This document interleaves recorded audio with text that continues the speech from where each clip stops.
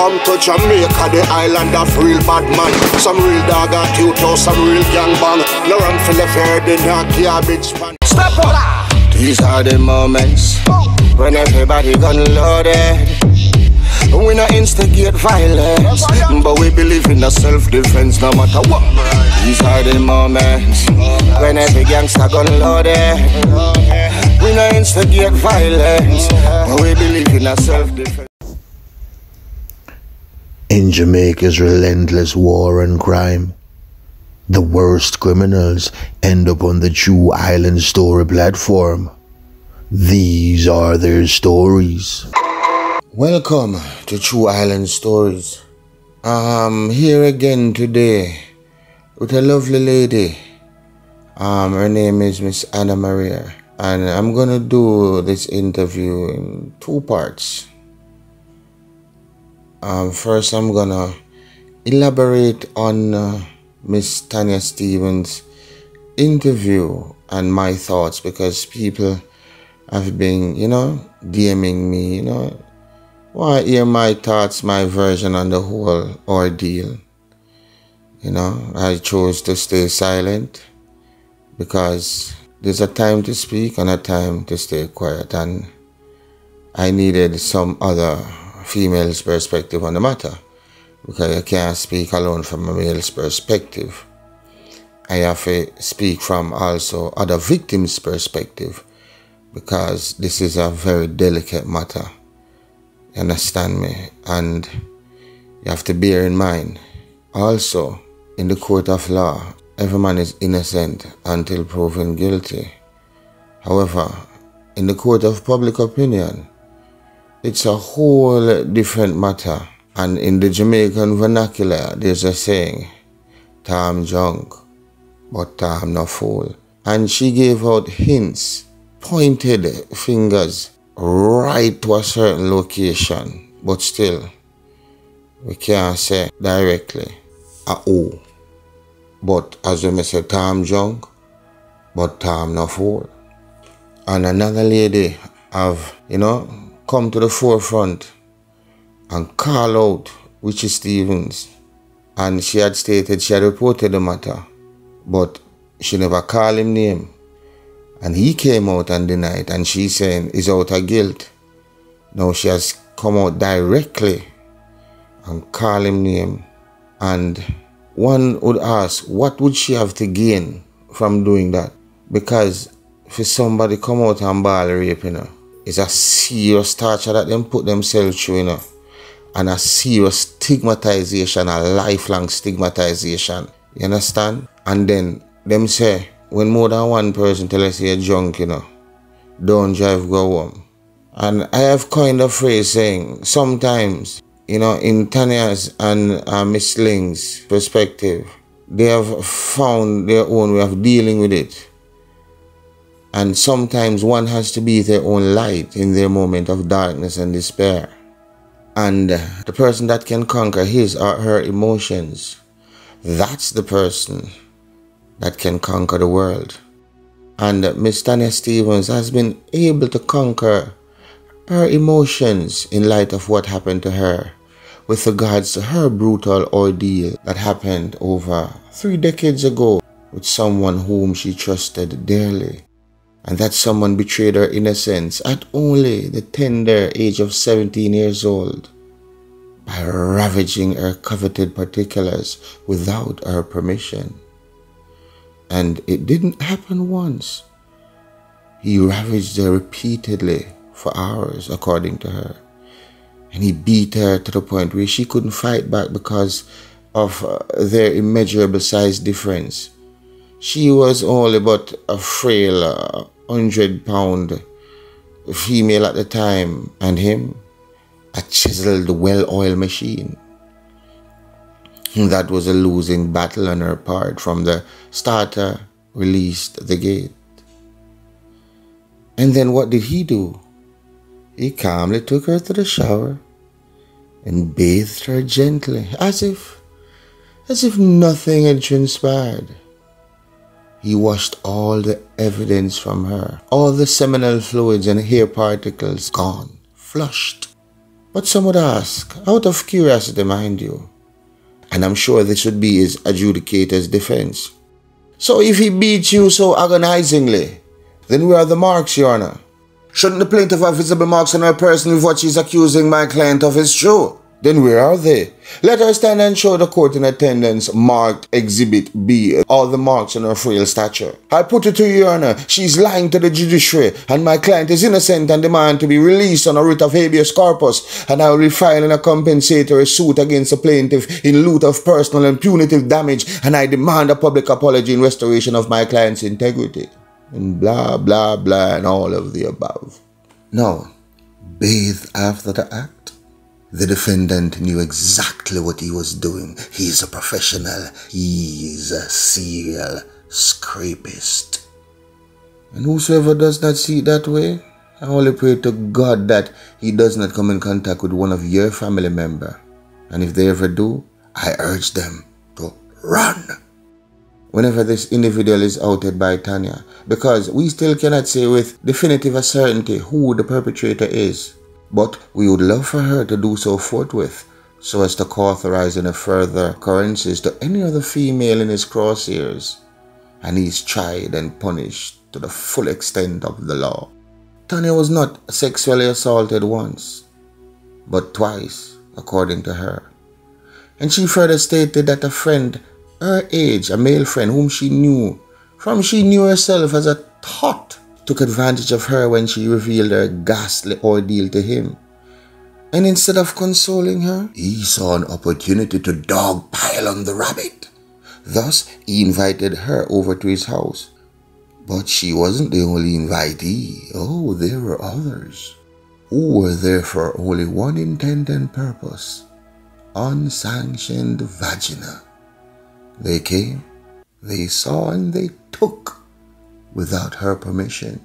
And she said the only thing she sought comfort in was the fact that one of them had a microscopic penis. She felt neither its entrance nor its exit. So, in the grand scheme of things, he counted for naught in her tumultuous ordeal she was subjected to endure by the werewolves who sexually assaulted her on the day. She had to find some method to cope with their madness.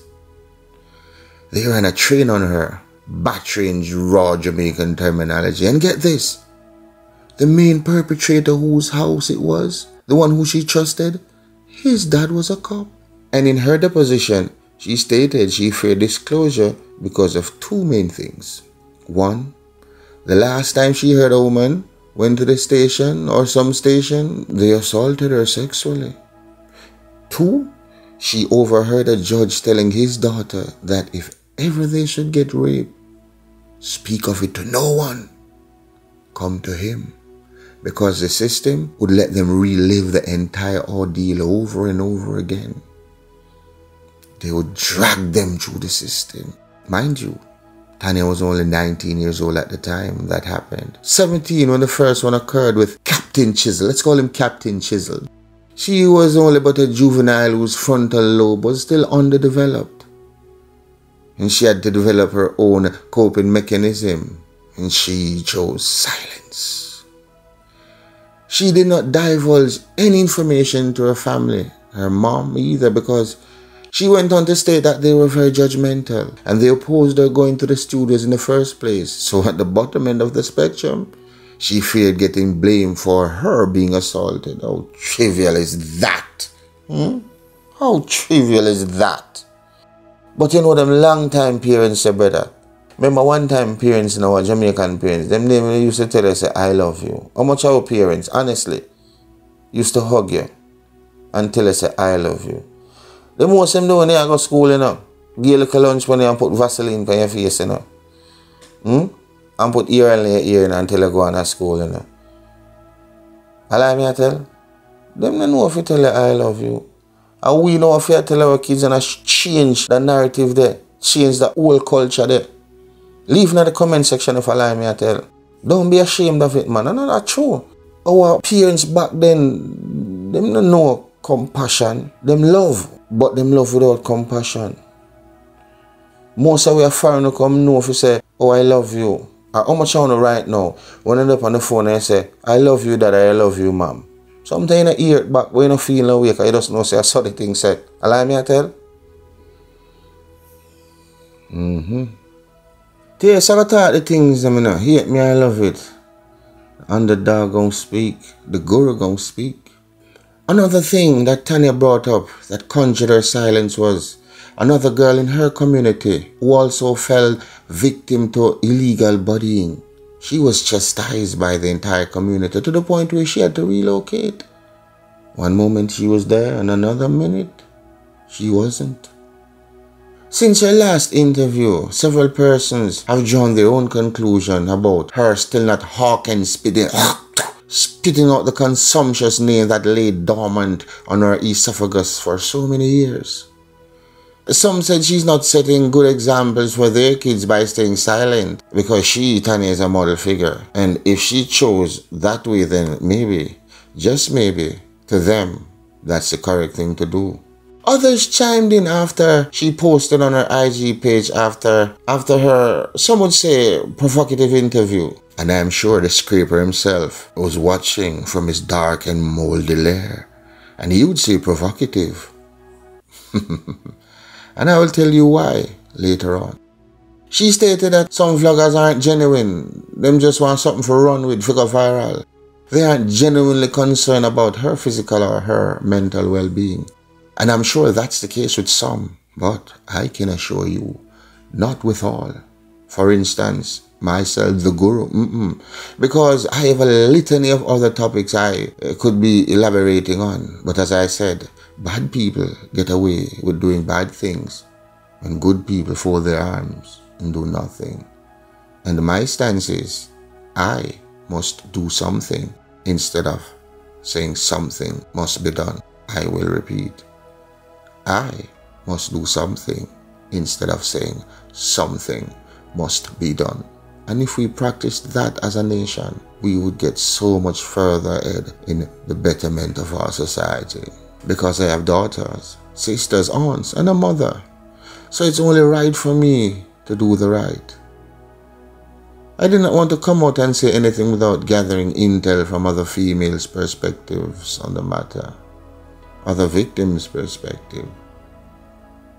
So I'm truly delighted to share my platform today with a beautiful lady, Miss Anna Maria from Bridgeport, Connecticut, and to have dialogue on this such a touching and delicate matter, which I will bring to you in part two of this here little shindig.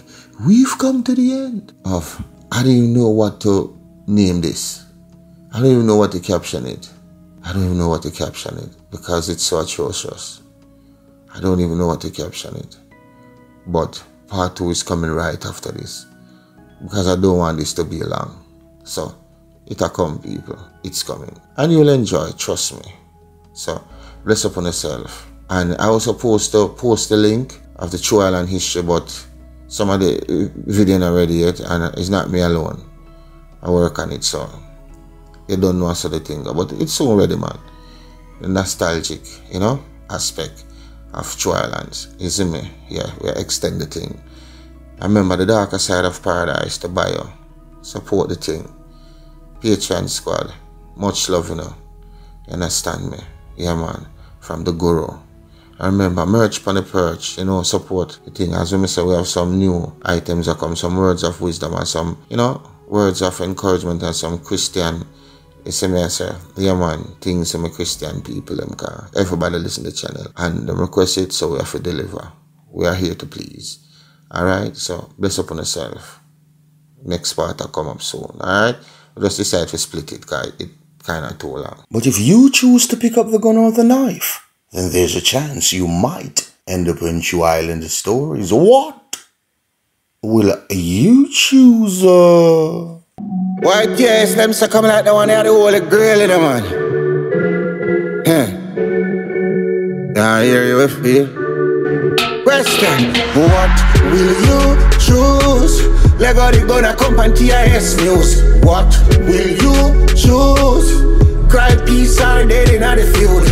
What will you choose? Lego the gonna come on CVM news. What will you choose? choose? Blues, blues. Don't sit, God with the touch. Nighttime them run out fully dark. Plans on one another, everything a sparks. But who are the piranha? Which one are the shark? Moon and black rims, but the cat same soft. And I estimate the pass and then get them head cock. Screamers and YG man them a war. Whole place fuck up from them gone with the boss. Scared them bridge dream a rock man dark. Whole place someone from them like a playboy. When the man drop and who get the joy? Panty ice, you turn star, but what will you choose? Lego the go that come panty ice loose. So what will you choose? Cry peace are dead in the feud. What will you choose? Lego the go that come pan CVM news. So what will you choose? Cry peace are dead in the feud. What will you choose? What will you choose? Oh, what will you choose, oh, what will you choose? Charlie was black down rock foot. Mikey Pulp, head in a boat. No, no drop, but him badness a good. Jet clean, make enough man afraid for God. Chubby Jordan Pogo out of sort Nothing more than you enough man them out Junglist them we kill it then go burn down your house Sailing at entertaining a thump none no more Well, you do the crime then, you do the time can't escape, you can't blur the line. I choose the fifth and tear off the side, man. You can't mix up looks, man, with up a film. Marcel Portmore lone assassin. One motion to the court, bada bing. Rockport rise the four and the god that I sing. What will you choose? Lego the gonna come and TIS news. What will you choose? Cry peace and dead in the field. What will you choose? Lego they gonna come and CVM news. What will you choose? Choose, lose, lose, lose, lose.